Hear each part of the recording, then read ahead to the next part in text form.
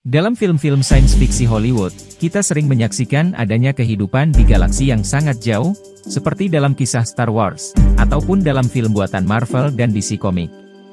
Dalam penggambarannya, ada yang berbentuk makhluk aneh-aneh, dan ada pula yang plek-ketiplek dengan manusia di bumi.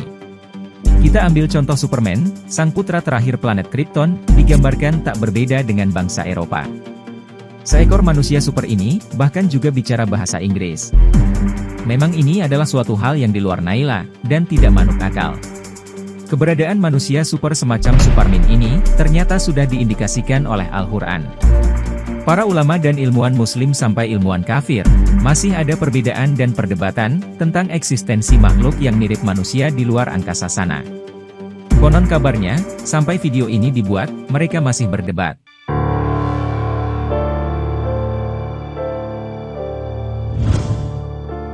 Kisah perjalanan keluar angkasa paling tua yang bertahan hingga saat ini, misalnya adalah rekaan Nicholas dari Suriah, pada abad kedua setelah Masehi. Ia berkisah tentang seorang pria yang diluncurkan ke bulan, dan bertemu makhluk aneh. Karena saat itu wilayah tersebut dikuasai Romawi, tokoh yang direkam Nicholas, tentu saja berbicara bahasa Yunani. Kemudian tulisan paling tua tentang kedatangan makhluk dari planet lain ke bumi, muncul pada abad ke-13. Menariknya, kisah ini hadir dari kepala seorang ilmuwan muslim. Makhluk dari planet lain, pertama kali dikisahkan oleh Zakaria Al-Qaswini, yang hidup di Qazwin Persia. Dia terkenal dengan bukunya Ajaib Al-Makhlukot wa Goroib Al-Maujudat, yang menggambarkan keajaiban makhluk-makhluk di alam semesta. Ia juga seorang kosmografi, dan geografer ternama. Pokoknya bukan kaleng-kaleng. Diceritakan, dalam kisah Awaj bin Anfak, ia berkisah tentang sesosok alien yang mengunjungi bumi. Ia ke sini untuk mencatat tindak tanduk umat manusia. Sang alien tersebut, kemudian terkagum-kagum dengan keunikan dan kecanggihan spesies kita. Dari mana Al-Kaswini mendapatkan ide tersebut? Ya endak tahu, jangan tanya saya. Tapi ada riwayat serupa yang dicatat ulama abad ke-20, Abu Lala Al-Maududi, dalam komentar Al-Qur'annya terkait tafsir surat At-Talak ayat 12. Allah lah yang menciptakan tujuh langit, dan seperti itu pula bumi. Perintah Allah berlaku padanya, agar kamu mengetahui, bahwasanya Allah Maha Kuasa atas segala sesuatu, dan sesungguhnya, ilmu Allah benar-benar meliputi segala sesuatu.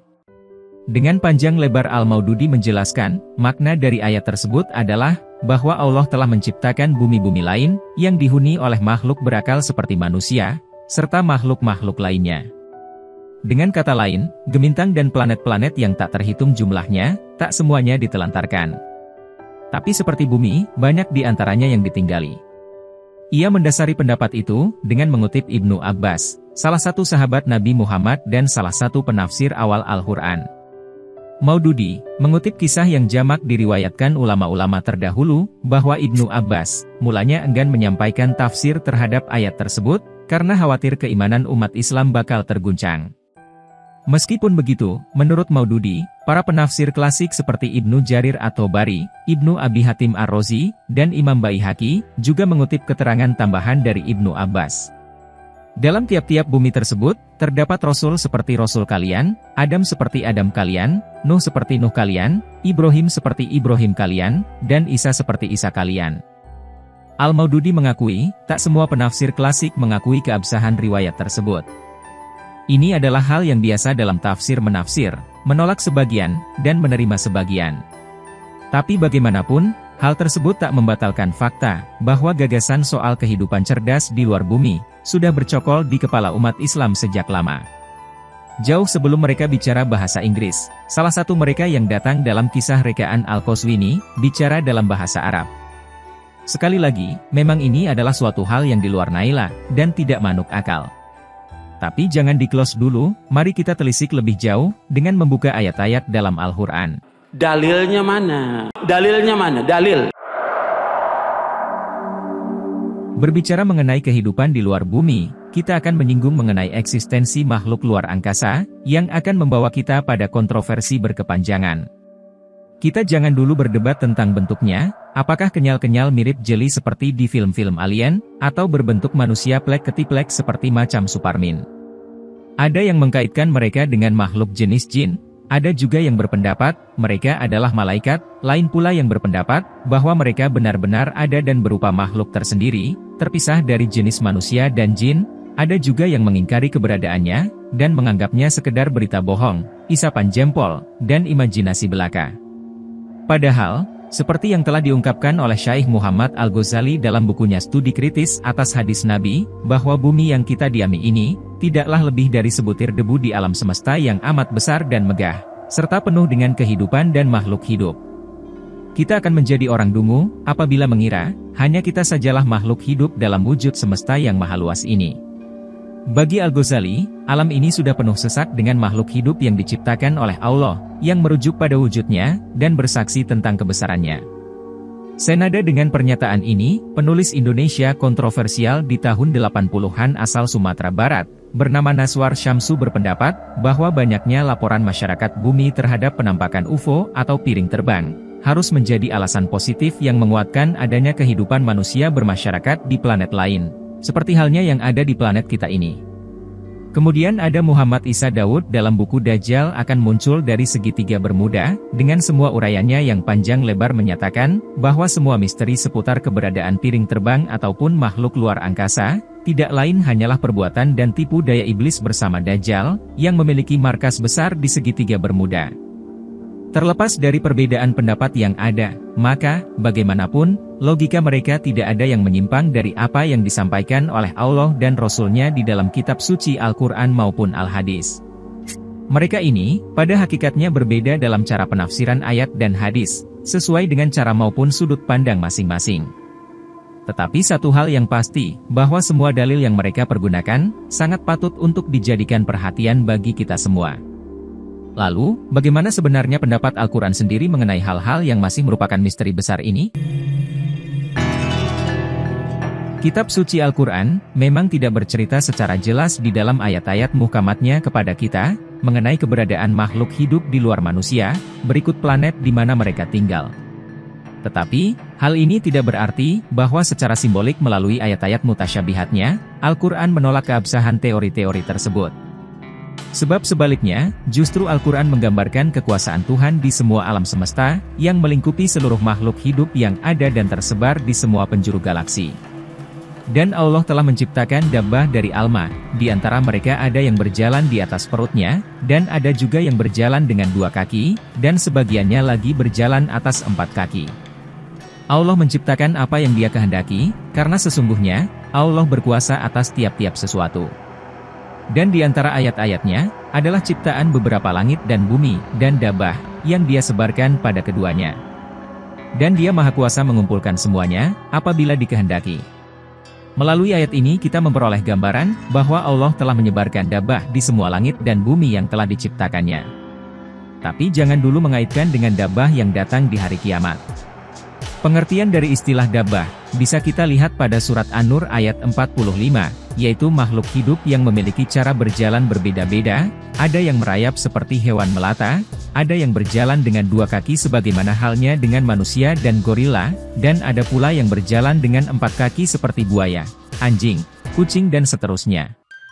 Sehingga, jika merujuk istilah dabah yang ada di langit itu berjenis jin atau malaikat, malah bertentangan dengan maksud dari kitab suci. Istilah dabah pada kedua surat ini, malah tidak merujuk pada malaikat, sebab, malaikat tidak berjalan dengan kaki atau perut, tetapi dengan sayap. Segala puji bagi Allah pencipta langit dan bumi, yang menjadikan malaikat sebagai utusan-utusan yang mempunyai sayap dua, tiga, dan empat. Allah menambahkan pada ciptaannya apa yang dikehendakinya. Sesungguhnya Allah Maha Kuasa atas segala sesuatu. Ayat yang lebih jelas lagi menyatakan, bahwa mereka bukan jin atau malaikat, adalah surat Ar-Rokdu ayat 15. Dan kepada Allah lah bersujud, man yang ada di langit dan di bumi, baik dengan kemauan sendiri, ataupun terpaksa, begitu pula bayang-bayangnya ikut sujud, di pagi dan petang hari. Perhatikan, ayat tersebut menjelaskan, adanya man di langit dan di bumi. Siapakah yang dimaksud man di dalam ayat ini? Di dalam tata bahasa Al-Quran, man, menunjukkan makhluk yang diberi akal. Makhluk berakal yang diciptakan Allah ada tiga, yaitu malaikat, jin, dan manusia. Oleh sebab itu, makhluk-makhluk lain seperti binatang, tumbuhan, atau benda mati, tidak bisa disebut man, tetapi disebut maha. Terjemahan bahasa Indonesia ini sudah tepat, man bermakna siapa, sedangkan ma bermakna apa.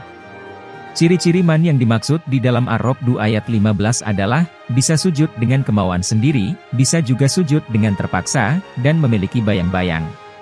Dengan kata lain, bahwa sujud siman ini, kadang kala taat, kadang terpaksa, dan bayang-bayang mereka pun mengikutinya. Perlu diketahui lagi, bahwa kata samawati pada ayat ini berbentuk jamak. Sehingga menjadi petunjuk, bahwa man yang berada di luar planet bumi, akan tersebar di banyak planet lain. Jika melihat ciri-ciri ini, maka tidak mungkin, yang dimaksud man adalah malaikat, karena malaikat selalu patuh, tidak pernah terpaksa, dan tidak memiliki bayang-bayang. Jin juga tidak mungkin. Walaupun ada jin yang taat dan terpaksa, tetapi, jin terbuat dari api, sehingga tidak memiliki bayang-bayang. Maka, yang dimaksud dengan man pada ayat tersebut, adalah makhluk seperti manusia. Yaitu makhluk yang kadang kala taat atau terpaksa, serta memiliki bayang-bayang. Oleh sebab itu, ayat tersebut menjadi petunjuk adanya makhluk berakal seperti manusia di luar planet bumi. Di samping man, di luar planet bumi pun, Allah juga menciptakan makhluk dari kelompok binatang melata. Perhatikan, dan kepada Allah mereka bersujud, mayang melata di langit, dan mayang melata di bumi. Dan para malaikat, mereka tidak menyombongkan diri. Ayat ini menjelaskan, adanya madan malaikat di langit dan di bumi, yang selalu sujud kepada Allah, serta tidak sombong. Pada ayat ini tidak ada istilah terpaksa, sebagai bukti bahwa malaikat dan ma selalu sujud dengan taat.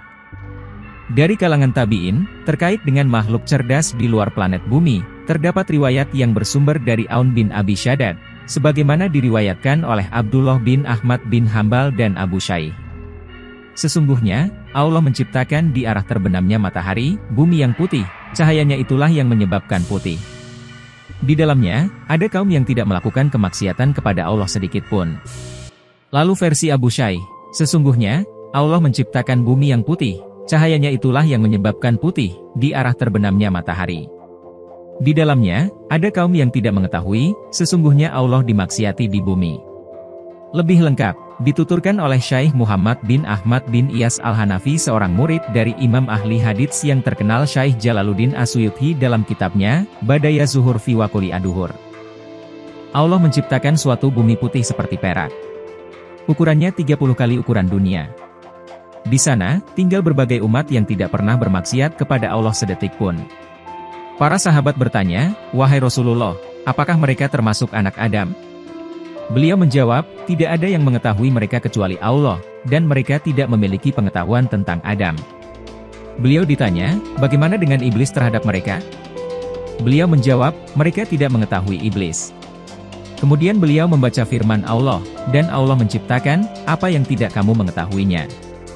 Nah, dengan pemahaman ini, sepertinya, para ilmuwan dan ulama seharusnya tidak perlu berdebat lagi, karena Tuhan sudah memberikan penjelasan. Sekarang giliran kita yang berdebat di kolom komentar. Apakah makan kerupuk dicampur mentimun adalah budaya asli Indonesia ataukah Malaysia?